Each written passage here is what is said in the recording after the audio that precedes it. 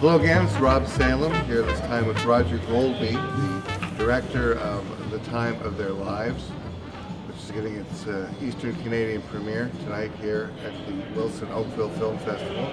Roger, welcome to Oakville. Thank you. It's lovely to be here.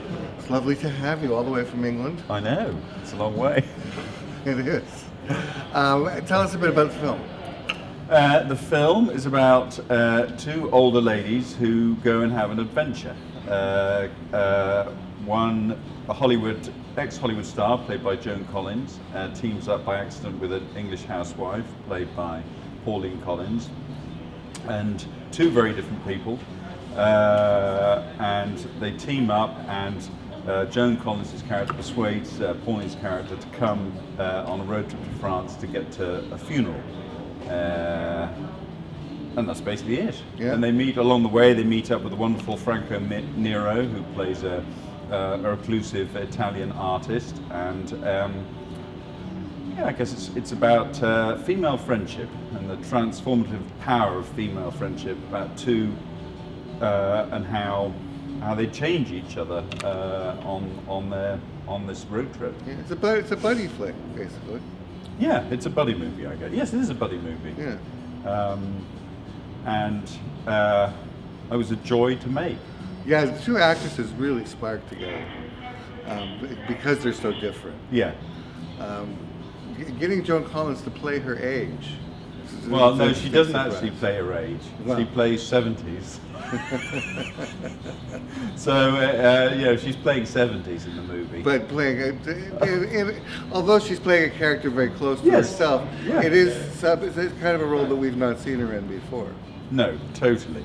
Um, and uh, you know, these film, the film, this film. I mean, I started writing it probably about 10, 15 years ago, and all films go through different permutations of finance, of development, and all the rest of it, and and casting. And uh, it was about three years ago. Uh, we went to Joan to play uh, the part of Helen, this faded Hollywood star, and um, she was suggested, and I thought, I just thought, oh my God, she's absolutely perfect because because of all the baggage that she comes with, but also because she's got a great depth of performance and she's also very funny. And then um, uh, and then Pauline was was again a very natural choice for um, the part of Priscilla, um, the kind of repressed English housewife. Again, she's got this baggage of Shirley Valentine, which is kind of hugely loved movie in the Yeah, UK. I don't know about here. Yeah. Uh, and um, but she is an in, again an incredible actress, uh, wonderful depth of performance, and also can do comedy. And so we were very, you know, these things, the casting just came together perfectly. We Yeah. were very, very lucky. Um, and because the whole film relies on the performances of these two women. Without those performances, the film would be, you know, wouldn't be what it is. Yeah. And and it's because of it's precisely because of the differences between these two women. That, that's the whole point of the film because they both, you know, uh, Helen's character, this faded, faded Hollywood star, is she's selfish, she's um, narcissistic, all these sorts of things. But also she hasn't given up. She's got energy. She's got oomph, uh, and she's going to go for things.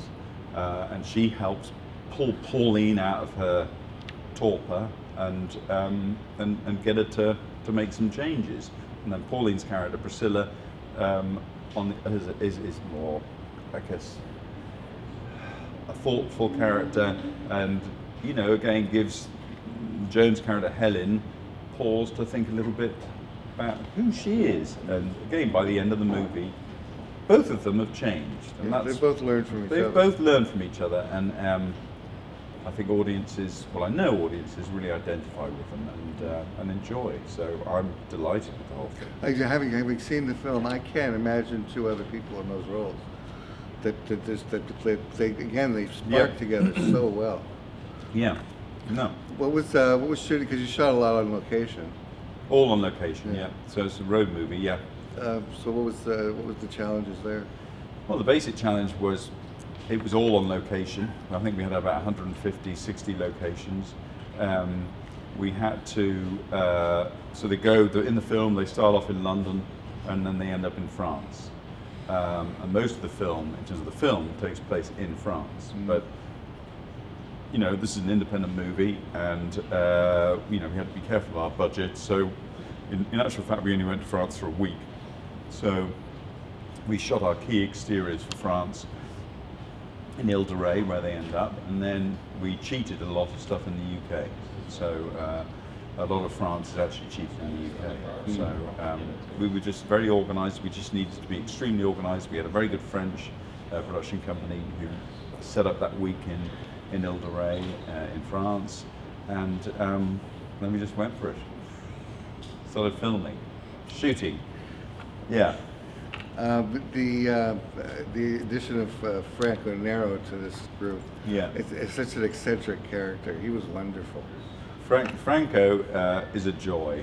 He is such a lovely, lovely man, and um, again was totally perfect for this role because well, he plays a reclusive Italian uh, wealthy artist, um, and uh, who doesn't say much. Um, he's got an incredible presence and charisma, and a love. but but not only that, he's also got a lovely twinkle. He's got a lovely twinkle in his eye, and I think, um, you know, because the two ladies vie for him, um, and you'd naturally think that he might go for Joan's character, but in, in actual fact, he goes for Pauline's character, Priscilla, and um, the chemistry between the two of those in the film, I think, is just you know, really special and very clever because it happens very quickly in, in movie terms. You know, they meet Yeah. and they kind of they connect very quickly. But I think they they they, they sell that and make that feel very true and real. Yeah, no, it totally works. Totally works. Now you um, were Oscar nominated for an earlier short film you Yes. did, and uh, you also got a British Award nomination for working on Called Midwife. Well, uh, yeah, I mean, I've done a lot of uh, I've done a lot of TV in the UK. So Call the that was quite a while ago. Call the Midwife at Fields. That was a great show to work on. Um, Heidi Thomas, who writes it, I'd worked for before on a UK show called Lilies, uh, which had sadly never got picked up after one series, but it was brilliant. Uh, set in Liverpool, period drama. But then Call the Midwife came along, and, and that was a total joy. Um, again, Heidi's writing is, you know, full of heart and warmth. I mean, it deals with lots of serious, hardcore kind of stuff. Um, you know, it's set in the 50s in London with these with these midwives working away. You know, one episode I did, the, the baby dies right at the beginning. So it's all it's all pretty it's tough, but she writes with such warmth and heart. Um, it's it's a joy to watch. Um, yeah, great fun to work on. Yeah, it's I do a lot of TV in the UK. Yeah, So it's very uh, popular here as well. right, yeah. Um, what's uh, coming up next for you? Uh, I am, well, we only just finished this, The Time of Their Lives, uh, in January, February of this year, 2017. Uh, and I've just hopped straight on to doing um, a TV show called The Durrells, which is a UK TV show based on uh, Gerald Durrell's books, My Family uh, and Other Animals. It's got famous in the UK. He was a naturalist, uh, and his family, when he was in the 30s, 1930s, they moved to Corfu and lived in Corfu for about four or five years, and it's about kind of a family adventure uh, in Corfu. Uh, so, I'm, I'm delighted to hear that there's another season because my wife and I are addicted to that. All right.